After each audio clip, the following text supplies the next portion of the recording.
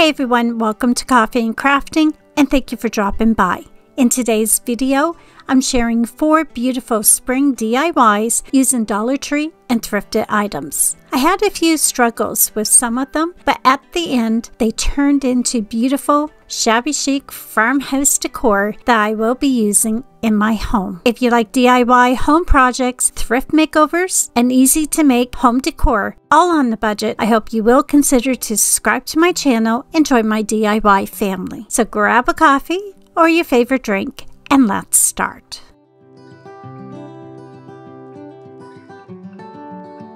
For this DIY, I have an egg sign and the wall creation flower stickers from the Dollar Tree, and these are so pretty.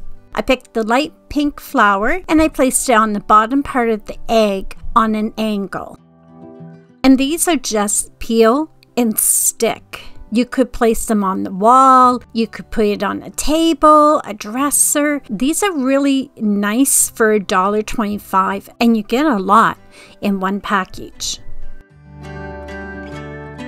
I used my knife to remove the excess sticker from the egg.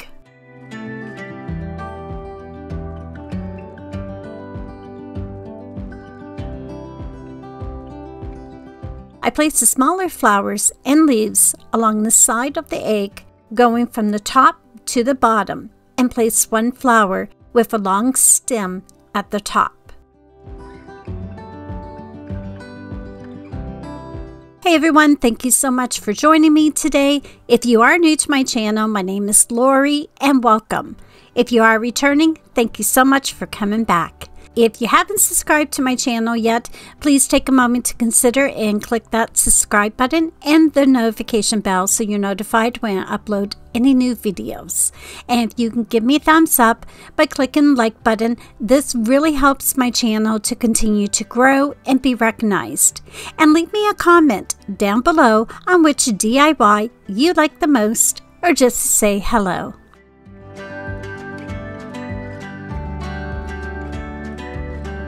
Cut a few pieces of lace and ribbon.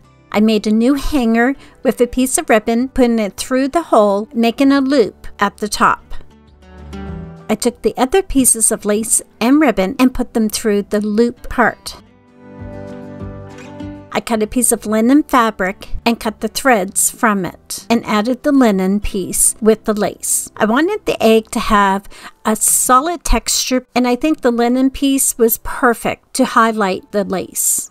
And to finish this DIY, I trimmed the lace and the ribbon on the ends and glued a twine flower at the top. I really like how this egg turned out. It's so adorable. It was easy and quick to make. This would look so beautiful in an antique shabby chic oval frame displayed on the wall. I think the big flower was a perfect choice to put at the bottom of the egg and then have the little flowers going up on the side. And I'm so happy I didn't do anything with the background. This could be decorated in so many different colors and flowers, and every single one would still look as elegant and beautiful as this one. Let me know in the comments what you think.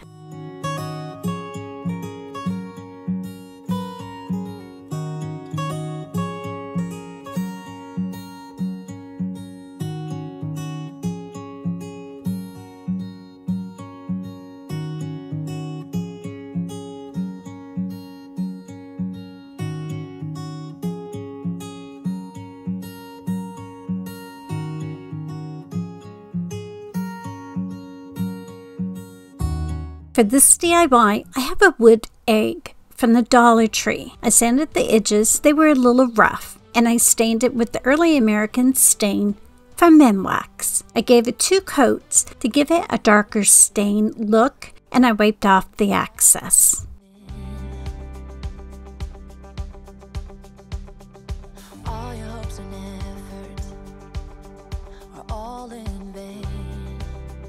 I have a wood house from the Dollar Tree. I'm going to give it two coats of the early American stain.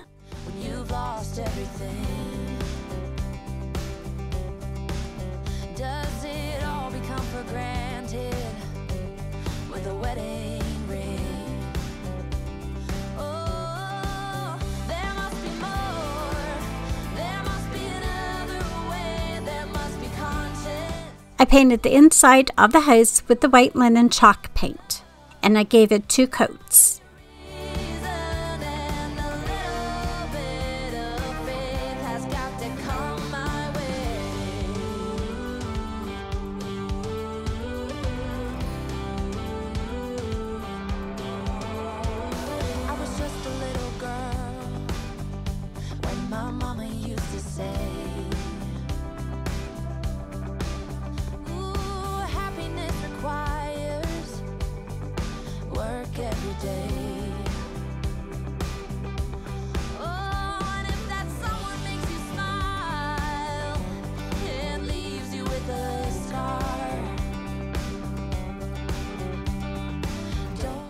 Really cute light blue leaves rub-on transfer from the Dollar Tree. I'm going to place it inside the house. I had to cut it into pieces to fit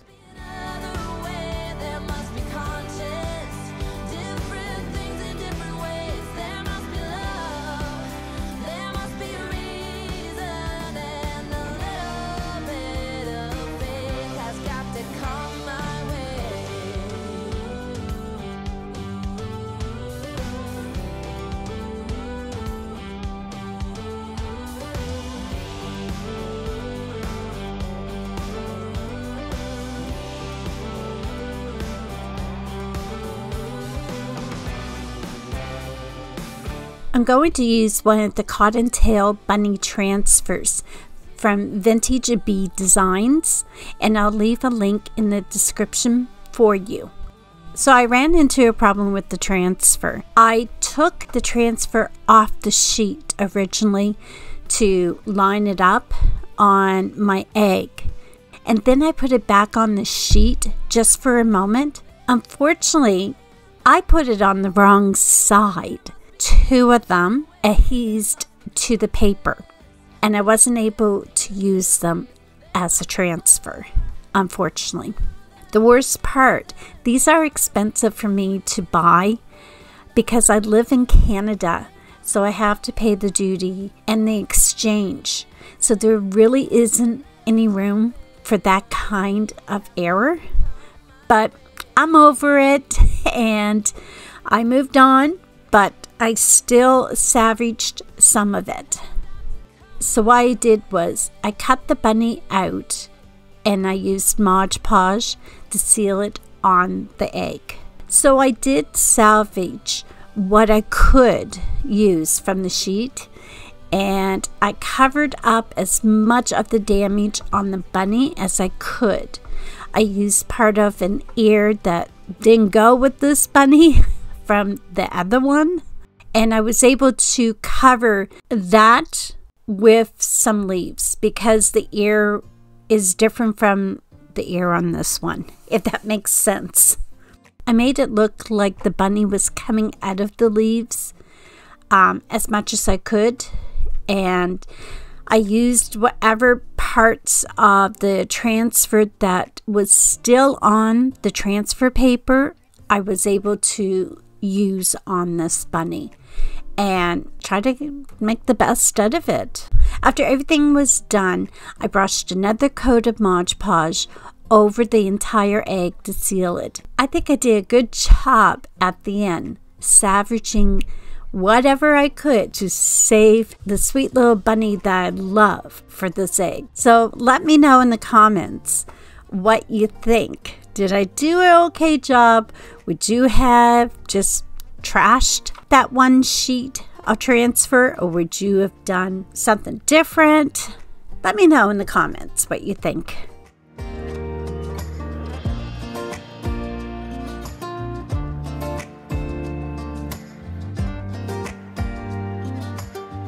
I glued a tumbling block on the back of the egg and glued the egg inside the house.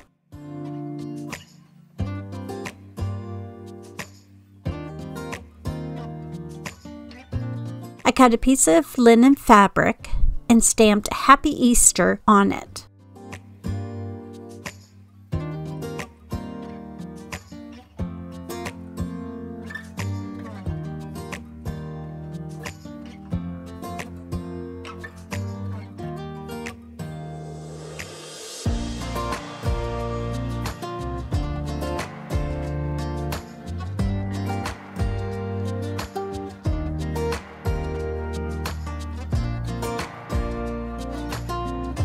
I glued the Happy Easter linen piece on top of the house.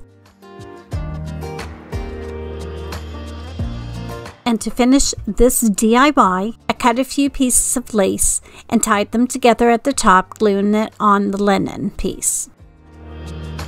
This bunny house turned out so beautiful and I love the rustic farmhouse shabby chic look. Not everything turns out the way we plan, but if you can find a way to fix it, you can actually surprise yourself with something even more wonderful to cherish. Let me know in the comments what you think.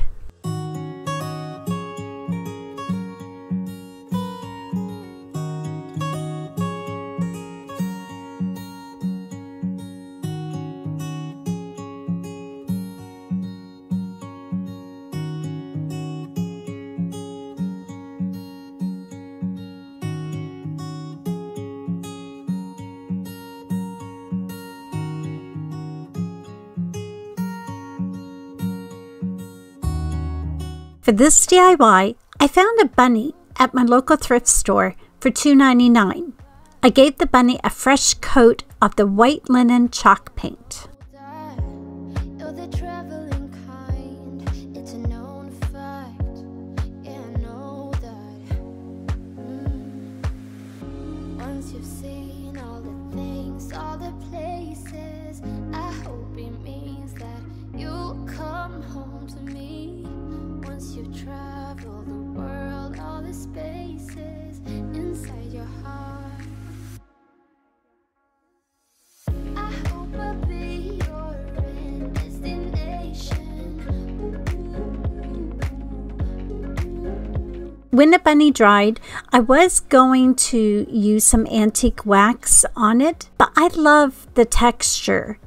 it had with that little hint of gray coming through the white linen chalk paint.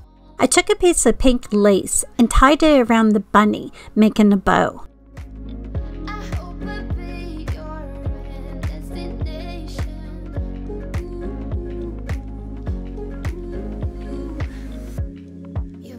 And to finish this quick and easy DIY, I glued two little dark pink flowers on the bow. And that was it for this DIY.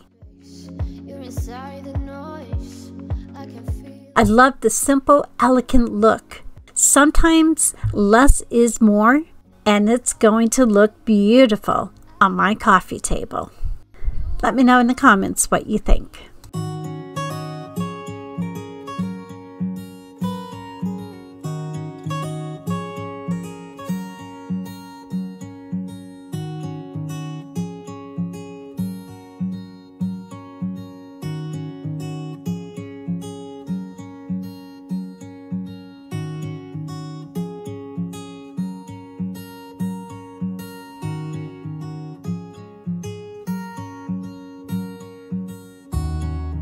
For this DIY, I have a grapevine wreath that I'm going to reuse. I painted the wreath with white spray paint from Rust-Oleum. I have a bundle of spring flowers from Michaels and lamb's ear from Walmart. I cut the spring flowers from the stem. I'm not going to use glue on the wreath. I want to be able to reuse it again in the future and the flowers. I put the lamb's ear through the wreath and used a piece of floral wire to secure it in place.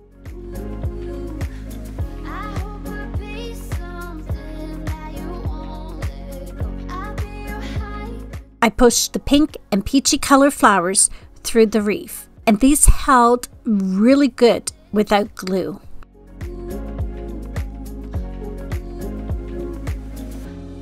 I placed the other lamb's ear on the opposite way and secured it with the floral wire.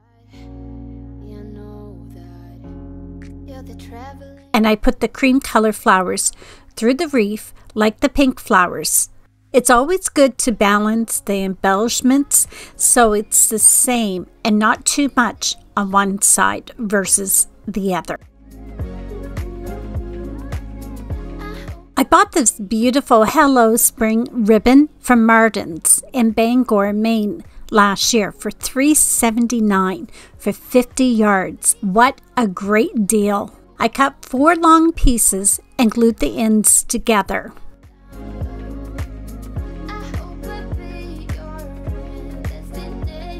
And this is where another disaster happened. I am not good at making bows, but this is how I made it this time.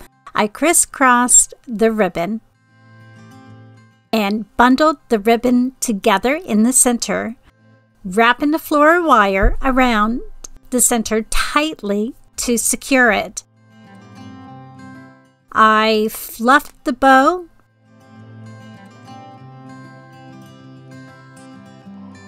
So I'm looking at it thinking, what a mess. What am I going to do with this? So I cut four small pieces, glued the ends together, placed them on top of each other, and wrapped a floral wire in the center, securing them together. I fluffed the bow and I added the smaller one to the bigger piece. So at this point, it didn't look like a bow at all. I wasn't giving up on this. I like a good challenge. so I fluffed and twisted the ribbon, tried to form it into a bow. So I had to move on and I figured I'll fix it when I put it on the reef. I cut another piece of the ribbon to make a tail and I glued it onto the other piece. And I used a piece of floral wire and attached it in the center of the flowers on the reef. And Here's the fun part. I can't help but laugh. I attached the bow to the reef. I fluffed and twisted the ribbon into place until I got it where I liked it enough to hang on my door.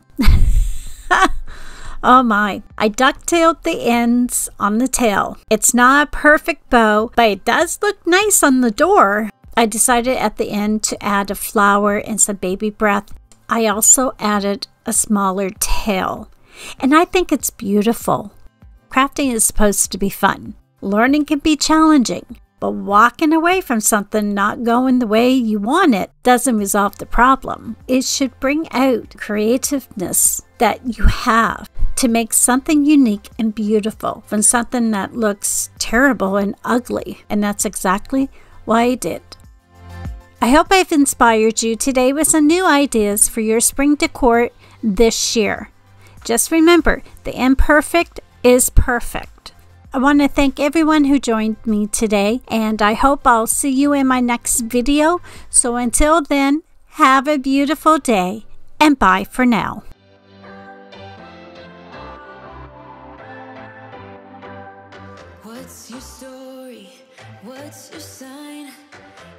We're twin flames in a different life. Deep connection lights a spark. It's like you know me in the depths of my heart. We're dreamers.